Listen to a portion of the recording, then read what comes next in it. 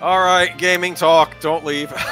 Yeah, we don't have a whole lot of gaming talk tonight, but we do have a couple of them. Trust me, we got a lot And of this um, is an interesting one because it, it involves Elon Musk. at the very end. No offense to that Park Place. You're you're you're like, but I've been wanting to talk about this for a couple of weeks because okay, so basically for a few years now, I have to worry about these wonderful Japanese RPGs they make in Japan coming over here to the States and getting butchered. In dialogue and censoring outfits and that and stuff like that. But they're not going to do that anymore. Now they just censor for everybody at the start, whether you live in Japan or not. Um, let me get into this. Elon Musk shared his thoughts on Dragon Quest creator Yuji Horii accusing American regulators of forcing the removal of the option to choose between male and female characters in the Dragon Quest III HD 2D remake. It was reported at the beginning of this month that developer Square Enix was removing the option for players to choose between male and female characters and were instead labeling the character options as A and B. This was reported by Ryoku Tia 2089, who noted the game has no distinction between male and female heroes.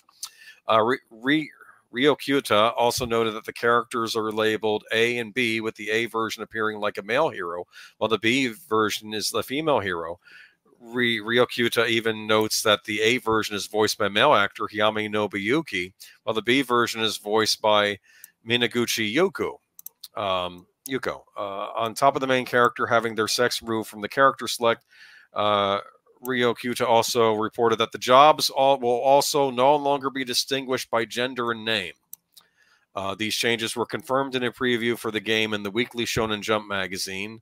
Uh, another user said the preview and latest issue of uh, Japanese magazine Weekly Shonen Jump confirms Dragon Quest III HD 2D is using typing Type in place of male and female. Following this confirmation, the game was added to the Sweet Baby Inc. Detected Steam Curator list, as well as Kabrutus Rambo's DEI Detected website. On top of the removal of the option to choose between male and female characters, Kabrutus cites that the game also censored the trolls in the game by removing their lips. He wrote on a much more personal, nerdier level, and this one really pisses me off, I must say, is the censorship of the trolls' lips.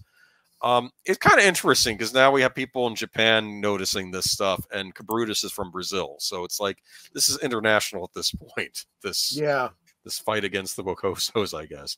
Uh, not only has the game been added to Sweet Baby Inc. Detective Steam Curator list as well as DNA Detective, but numerous gamers have expressed the game on the Steam's Steam forums that they do not plan to purchase the game due to the changes Square Enix has made.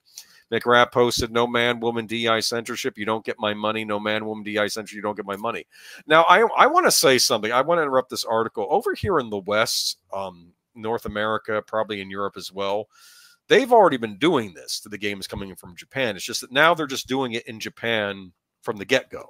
That's what the change is right here, and other countries.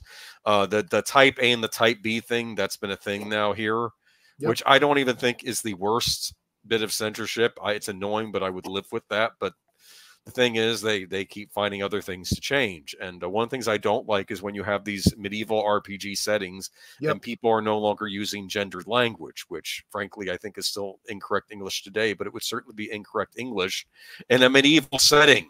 Yeah. You're going to call someone a man or a woman or a lord and a lady. That's going to be a thing, you know. Well, and there was no games inspired by- concept of these things back then. No one would have wanted to be, you know, Yeah. Whatever. I I don't know. The reason why the exposure of the costumes in Drag Quest 3 needs to be reduced, as explained in the interview with Tokyo Game Show. As translated by Valiant News, Horii responded, Yeah, there were various regulations in place. Apparently, not allowed to show too much skin. Yeah, because uh yeah, Horii was asked about the changes because they changed the designs to the female warrior character, who you know basically is just wearing a lot of body armor, but you know you, you see you see more Right. of her legs and, and arms and stuff. But the same Yeah. goes if you get the male warrior. Now with the female warrior, they've covered her up a, a more, and the male warrior they left alone, even though they're wearing similar outfits. Do you understand? It's- That yeah, and that's really kind of flying in the face of their um, you know, Yeah. Um, if there's too much exposure, the age rating goes up, and you won't be able to sell as an all ages products. I really understand that either. Uh, uh, uh, apparently, it's not allowed to show too much skin. He added. When asked about complying with various country regulations, Torishima chimed in. Under the name of compliance, it's like an absolute god an evil disguised as a good. There's not such thing as content that doesn't make everyone uncomfortable because beauty and ugliness, good and evil, are different for everyone. There Mm. are few things that absolutely must not be done. As long as you follow those, you'll you're free to do the rest. He added. Next, he stated there is there is a religious concept from the West, especially in America, that influences their approach to sex education. Right, their approach to compliance is really narrow-minded. When selling manga in America, everything had to be categorized by age groups. For Shonen Jump manga, they couldn't be sold unless they were rated ages 13 and up because are risks of lawsuits. The company also has to get insurance. Doing business with such a ridiculous country is really frustrating. Because of that, Japan gets negatively influenced. So now he's saying, he's basically saying now because of our peccadillos over here, because Yeah. I guess of the, I, I want to say it's the modern woke puritanism we have now. It's now influencing how other In countries have to make their though, stuff. I mean, if we're if we're going to be really intellectually honest about it, though, this you could be saying the same thing about you know uh censorship by the right over back in the 80s you know it doesn't really matter Yes, but the right never told the Japanese that you have to censor the game for your market. no but Even at the worst, when we had the stuff being censored over here, they weren't going into other countries and saying the American i says, see what you're saying says yeah, no, you have to censor point. it there. This is this is this is beyond par. This is uh, this is I guess this Yeah. is a globalist perspective that we all have to now have the same moral compass, and we decide what that moral compass is. The corporations. Uh, he let's see. Uh, in Dragon Quest, you used to be able to choose between a man and a woman for female character. Now you can choose between a man and a woman. You can't choose between a man and a woman anymore. We have to label them Type A and Type Two. Yeah, see, they didn't have this over in Japan. We've been getting that over here with these characters, though. Yeah It's happened, and Yeah. you, you really have to research how these games are being localized. I've not bought RPGs. I was planning to because I heard of. Because I'm sorry, if your game is dialogue heavy, it has to be well written, and if it's not well written, I'm not buying it. Uh, Elon Musk reacted to this, writing an X saying, "This is insane." That was Elon Musk's reaction. This is insane.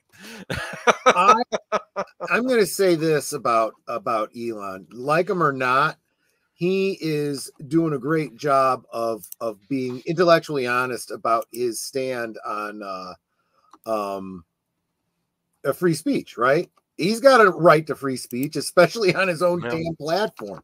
So if you don't like what he's saying, well, it's not your platform; it's his. Uh, that's a Guru Sad has to be uh, okay. Let me see. You're talking about yeah. I want to mention something too, though. The character, the, the character designs for the original game back in the '80s, Dragon Quest III, because this is a remake, uh, a really nice, what I thought was going to be a really nice looking remake. It was on my radar to purchase, but I Uh-huh. said wait till it comes out and see what they do to it. And unfortunately, it's it's a hatchet job. The guy that created Dragon Ball Z, you know how we so Yeah, mm. months ago, he's he created the character designs for this game, and now they've messed them all up. So those character designs they're censoring, they were created by him, who they were much revering a few months ago, but now he's dead, so they can basically go to town and just change them however they want.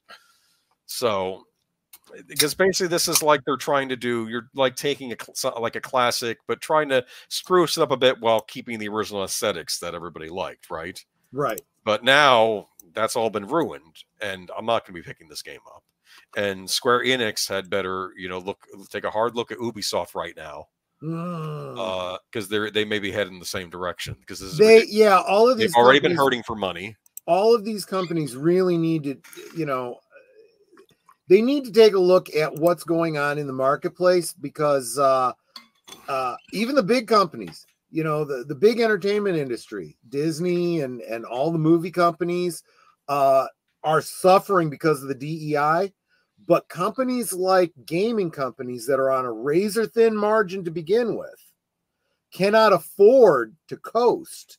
They don't have they don't have resorts and parks and uh you know all kinds of marketing that they can draw on you know to to to weather a storm Well, what they had here is Dragon Quest, and I'm not splitting hairs here. In Japan, Mhm, Dragon Quest is is very popular. I would rank it like up there with something like Star Wars. Okay, sure. Dragon Quest used to be so popular that when a Dragon Quest game came out, the school system would just have to call, okay, we're just gonna have off that day because the kids would boys would be cutting class to pick the game up at the game store. wow That's how popular they wouldn't wait. So they're like, we just have to call off. Yeah. We'll find out when the Dragon Quest game is coming out, and that's how that's how popular this series is over in Japan. And I guess it still is, but now it looks like they really have taken a hatchet job to this remaster.